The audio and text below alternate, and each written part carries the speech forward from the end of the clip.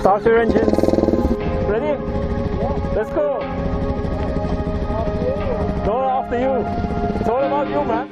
In 2005, I started riding BMWs, but the first two I had were a complete mechanical disaster until I tried an F650 GS Dakar, which had the reputation of being the best modern BMW out there due to its simplicity. With my F650 Dakar, which I named Agility due to its extraordinary turning circle, I rode to the Dolomite Mountains and the Großglockner in Austria. And even off-road, it performed well due to its being light and slim, getting me through the tightest gaps. Unfortunately, my fears about BMW caught up with us, and one breakdown led to another, destroying my confidence in the brand and nearly putting me off motorcycling altogether. I would see pictures of people riding their BMW to Africa and Asia and thought, nah, you airlifted that to the location or photoshopped it. But a good friend of mine, Tom Eggar, had his BMW for 10 years and it never broke down once. Was I just unlucky? His BMW was behaving as well as my Japanese bikes, with the only real mishap being his BMW pannier catching fire after it got too close to the exhaust due to knocking a wall with it. We have come to the Fosse Way, which is an ancient Roman road near Bath in southern England, and today consists of both tarmac road sections and sand and mud tracks with rivers flowing through it. He will share with us his experiences about reliability, performance, shortcomings, and modifications he's done to his F650 Dakar. So here is his story. Probably like most of you guys out there, can't afford three bikes. This thing does everything pretty well. Um, I, am not saying it's a jack of all trades master. No, it, it, gets by.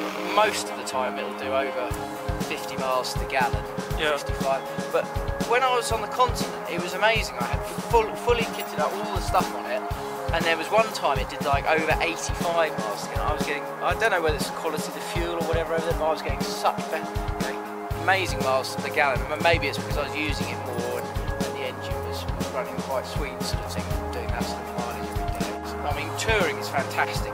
I've, I've done four and a half thousand miles around Europe um, on one trip. And I, have got the Vario panniers, um, and you really can fit a lot in them if they expand out. I never really expanded it right out, but I could fit a, a one-man, two-man tent in the bottom of it.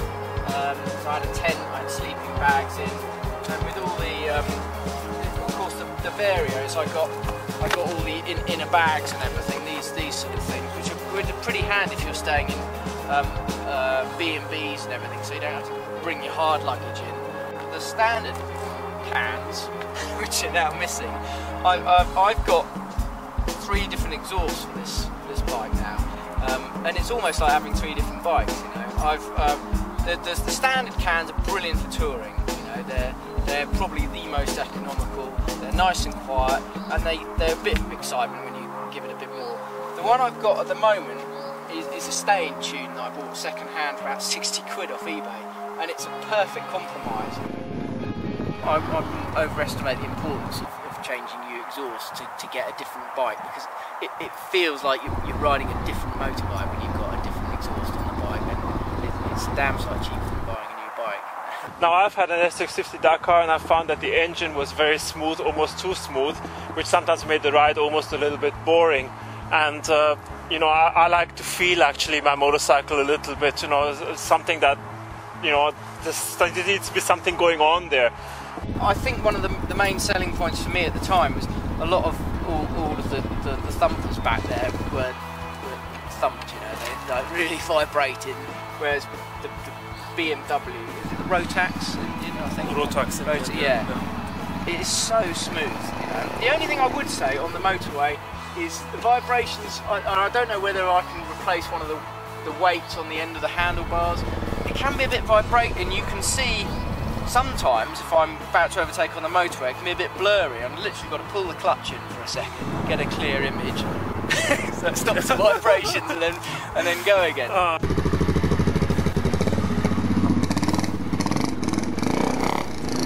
The uh, technique I learned from a nutcase from uh, uh, Austria.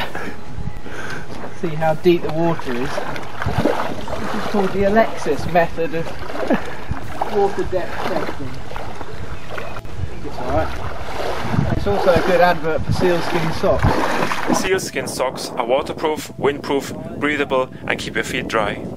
Tom, that is not the Alexis method. The Alexis method is like this.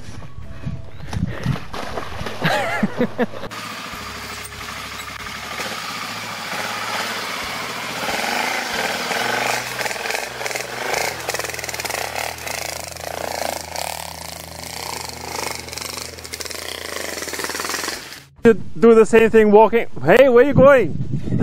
hey, you're cheating. I learned from my mistakes. Was it bad? Uh, it's alright. It's a, a bit tricky for traction. I think there's quite a bit of algae in there.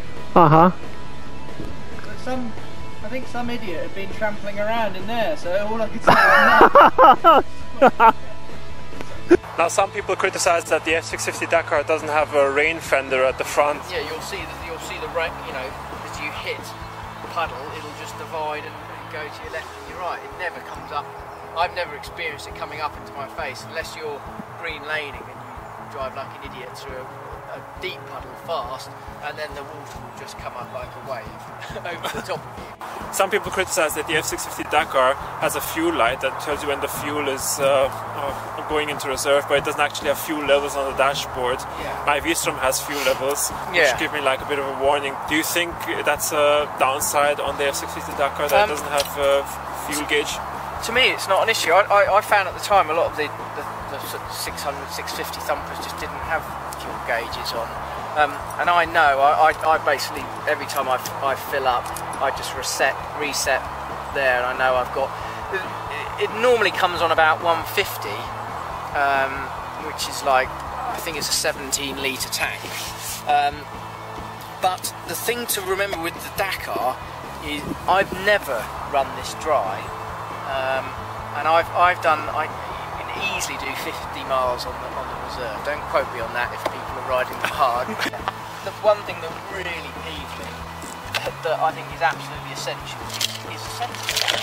I mean, just just to, to oil your chain, it just makes it ten. I know, but I think in all fairness uh, for BMW, I can't believe I'm, I'm actually defending them now. But uh, you, you, ah, you, you, this is my therapy. Yeah? slowly, slowly healing. Yeah. I think in all fairness to BMW, most motorcycles don't come with a center stand Right. because because if they did put one on. There's very often the case that people don't like the center stand and they want to get a different one, and then people are Yeah. stuck with this one center that just ends up in the bin afterwards. But no? the standard GSs all come with a centre stand, but the Dakars don't, probably because of that extra height. So yeah, I think they're normally like 120 quid or something, which is, sounds a lot of money, but uh, definitely worth. Definitely worth. So where do you keep your tools? Is there Yeah, somewhere storage there's space? Enough space under here for your weekly shop, actually. Really? Under here?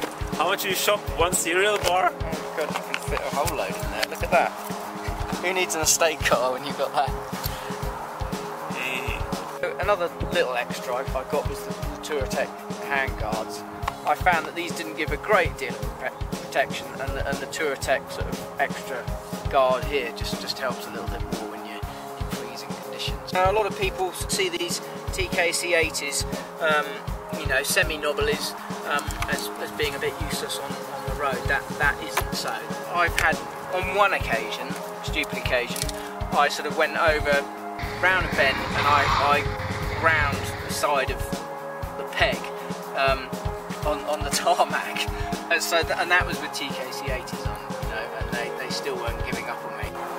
I've had to replace the fork seals probably four or five times in the ten or so years I've had it because I think the, forks were slightly bent um, through the BMW off-road school and they became quite pitty and every time I replaced the seals they they, they tried to clean them up but they, you know they, they said really you know, the, the chrome is, was gone a little bit. So I've had this on for like three months and hopefully that will stop. Well, I think you're doing a little bit of extra protection here, but my experience has been having both um, upside down and, and uh, regular fork regular forks is that if you have a if you have a leak on regular forks, the stuff the oil doesn't come out straight away. But if you have upside down ones, Yeah. everything comes out in one go, like on my KTM that I had. Yeah. And I had that problem like three times, and then in the end, I mean, I was new to motorcycling then. I didn't know about neoprene fork gaiters, and then when I found that, it was like, yes, you know. I quickly asked my dealer when it broke the next time to fit those on, Yeah. and it protected. I never had that problem ever again. so Oh, I think great. with the regular, I think every new motorcycle that has up, upside down forks should come straight away with these kind of neoprene Yeah. fork gaiters. So, It's a capable bike, and I, I think people underestimate it. So it's definitely a bike worth having.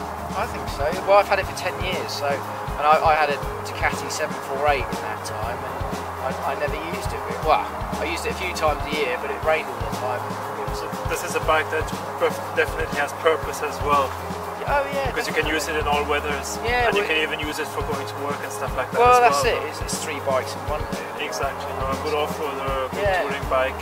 Touch wood. I've I've done nearly 28,000 miles on it. Never missed a beat. So, judging by your experiences, maybe the F650 Dakar is a very good motorcycle after all. Yeah, it's a very good motorcycle. No. Can we cut that, please? Cut, cut, cut! No chance, mate. That's on tape. Thank you. Oh no! Oh!